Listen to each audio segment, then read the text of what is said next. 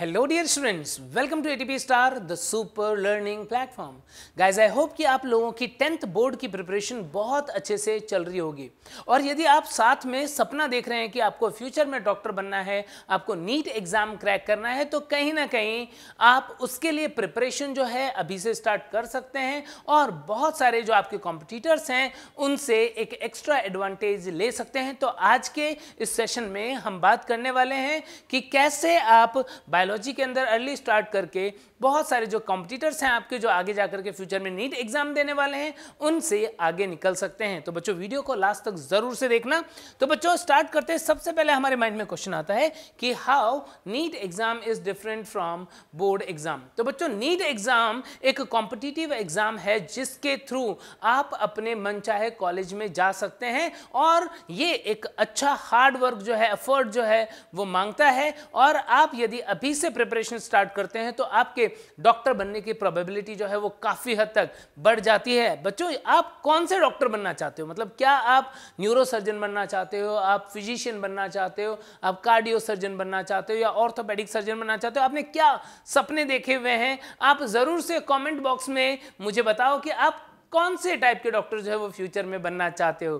ठीक है? तो यदि वो बनना है तो हमें समझना पड़ेगा कि नीट एग्ज़ाम आखिर क्या होता है, क्या इंटेंसिटी है, और बोर्ड के लिए जो हम पढ़ रहे थे, उससे कैसे ये डिफरेंट है? तो बच्चों, सबसे पहली बात है कि बोर्ड एग्ज़ाम में आपका टारगेट क्या होता है? बोर्ड एग्ज़ाम में आपका टारगेट होता है कि मुझे हंड्रेड परसेंट लेकर के आना है, मुझे नाइन्टी नाइन परसेंट लेकर के आना है, या एक पर्टिकुलर स्कोर पे पहुँचना है। अब उस पर्टिकुलर स्कोर पे बहुत सारे स्टूडेंट हो सकते हैं। हो सकता है कि 90 परसेंट पे बहुत सारे स्टूडेंट है। फिर भी यदि आपके 90 परसेंट आते हैं तो आप बहुत खुश होंगे। सब लोग आपके आसपास बहुत खुश होंगे कि आपने एक अच्छा स्कोर जो है वो ऑप्टेन किया। लेकिन यदि हम नीट एग्ज़ाम की बात करें बच्चों तो नीट एग्ज़ाम में सिर्फ़ अच्छा स्कोर, एक अच्छा मार्क्स जो है, वही सफिशियंट नहीं होता। क्यों? क्योंकि कॉम्पिटिटिव एग्ज़ाम है यदि बहुत सारे बच्चे अच्छे स्कोर ला रहे हैं तो क्या वो सेम रैंक में है? नहीं। फिर भी रैंकिंग जो है, उसके अकॉर्डिंग उन्हें कॉलेज जो है वो मिल रहा है। तो यानी कि क्या हुआ? नीट एग्ज़ाम के लिए जब आप प्रिपेयर कर रहे हो तो वहाँ पर कंपटीशन है। वहाँ पर आपके अंदर एक फीलिंग होनी चाहिए कि मेरे को सिर्फ़ मार्क्स ही अच्छे नहीं लाने मेरे को बाकी जो मेरे कॉम्पिटिटर्स हैं, उनसे अच्छा परफॉर्म करना है, उनसे अच्छी रैंक लेकर के आनी है।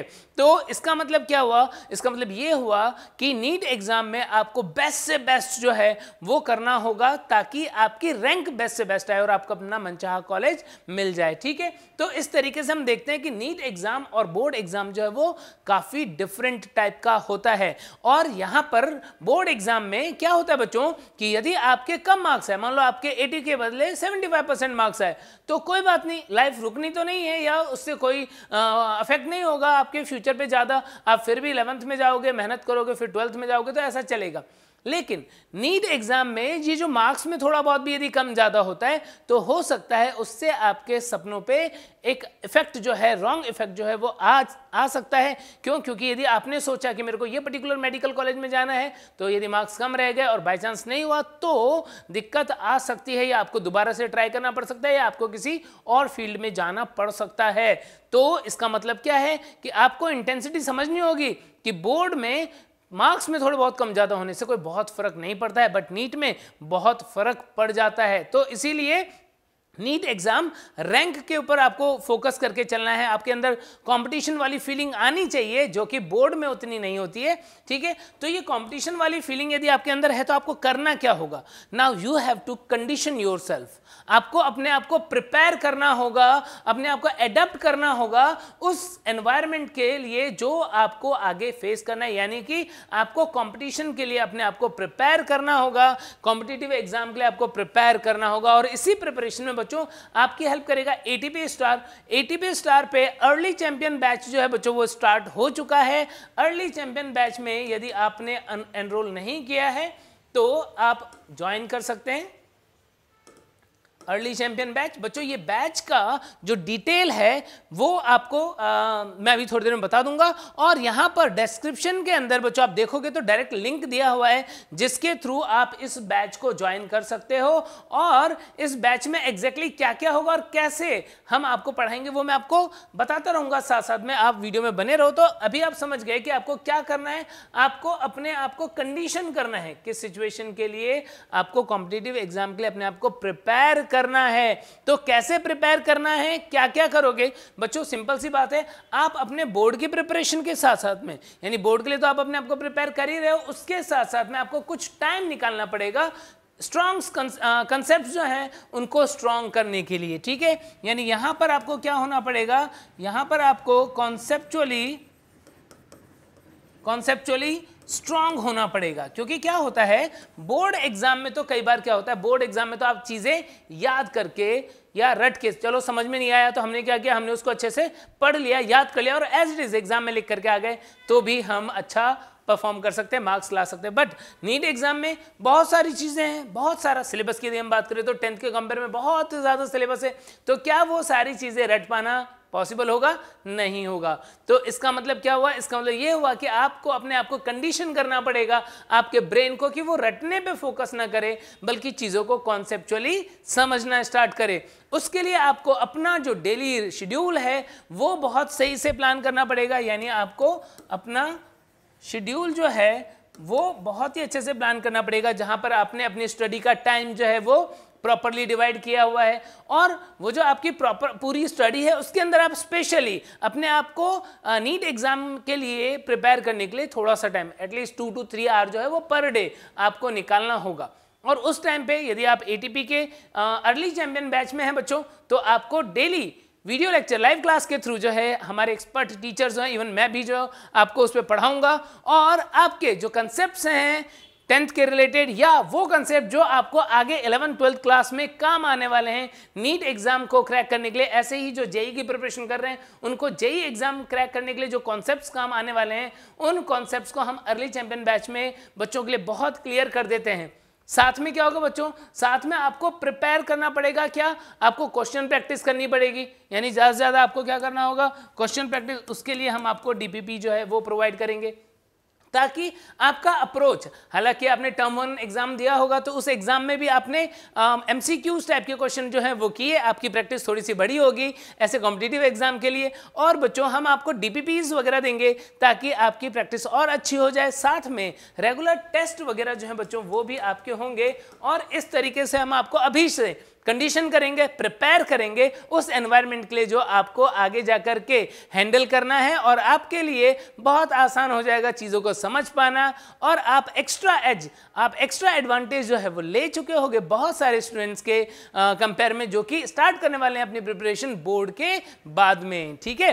तो इस तरीके से आपको अपने आप को प्रिपेयर करना है। देन इसके बाद में यदि हम बात करें बच्चों कि कैसे टेंथ क्लास की स्टडी जो है, वो आपको हेल्प कर सकती है नीट एग्ज़ाम क्रैक करने में। बच्चों, टेंथ क्लास में जो आप पढ़ते हो, जो भी आपके सिलेबस में चैप्टर्स हैं, ऑलमोस्ट वैसे ही वो तो सारे चैप्टर होंगे ही, प्लस नाइन्थ के कुछ चैप्टर होंगे तो इस तरीके से जो इलेवन, ट्वेल्थ का सिलेबस है या नीट का सिलेबस है बच्चों, वो बिल्कुल अलग नहीं है। वो इसी से रिलेटेड है। बस टेंथ क्लास में बहुत बेसिक लेवल पे थोड़ी थोड़ी बातें दी होती हैं। इलेवन, ट्वेल्थ में वही क्या हो जाता है डेस्क्रिप्टिव हो जाता है, वही डिटेल में आ जाता है।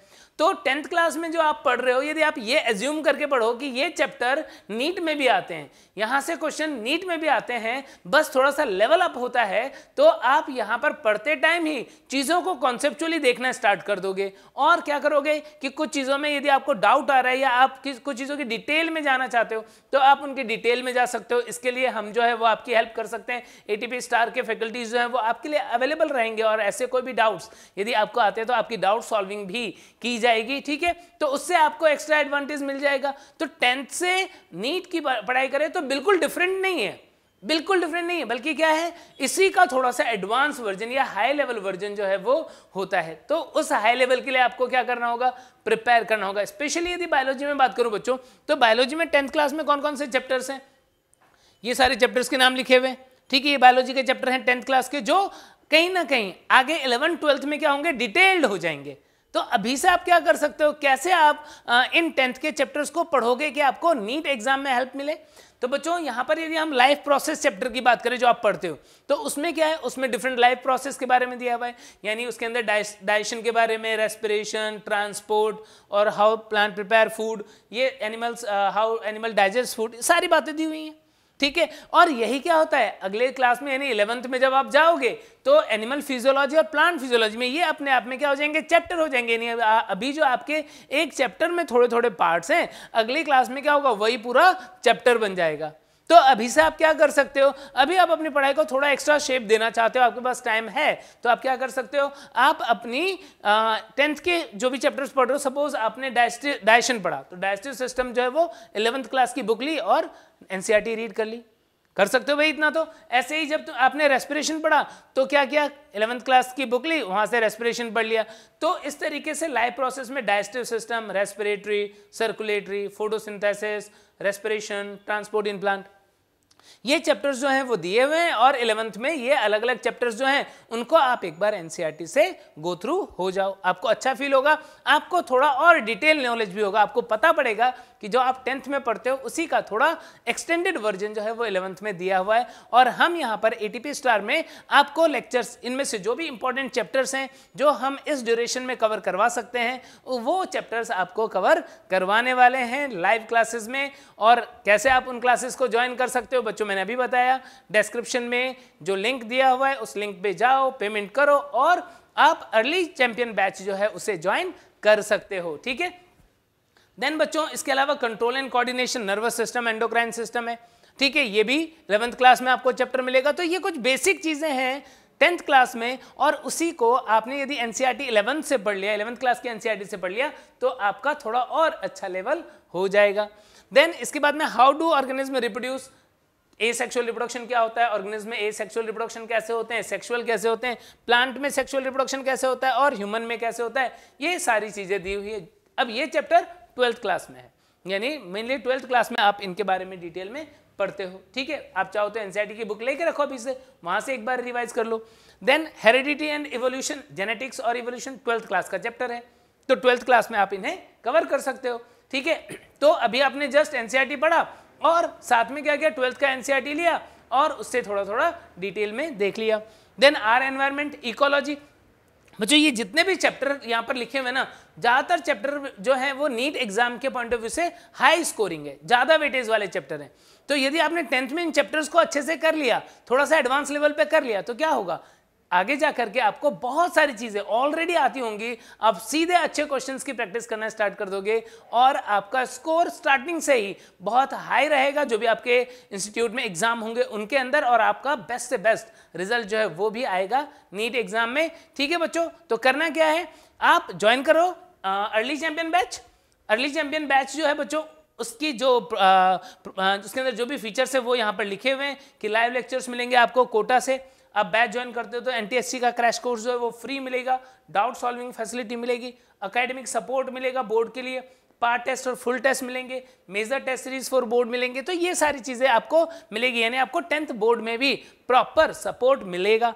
ठीक है फ़ी डिटेल की बात करें बच्चों तो वैसे नाइन ट्रिपल नाइन फ़ी है, लेकिन बच्चों यदि आप ये कोड अप्लाई करोगे चैम्प ट्वेंटी फोर क्या है कोड कोड है चैम्प ट्वेंटी फोर कैप्स में लिखना तो यदि आप ये कोड अप्लाई करोगे बच्चों तो आपका प्राइस जो है, वो रह जाएगा ट्रिपल नाइन यानी बहुत ही अच्छा ऑप्शन है आपके लिए कि यदि आप अभी से एक्स्ट्रा एडवांटेज लेना चाहते हो बच्चों तो आप अर्ली चैंपियन बैच जो है उसे ज़रूर से ज्वाइन कर लें और इसके लिए डिस्क्रिप्शन में जो लिंक दिया है, उस लिंक पे जा सकते हो, आप पेमेंट कर सकते हो। ठीक है बच्चों? तो आप लोग अच्छे से पढ़ाई करते रहो और यदि आपने नीट 2024 को टारगेट रखा हुआ है तो हम मिलते रहेंगे और आपको इंपॉर्टेंट टिप्स जो है वो देते रहेंगे और आपकी प्रिपरेशन में हेल्प करते रहेंगे। All the best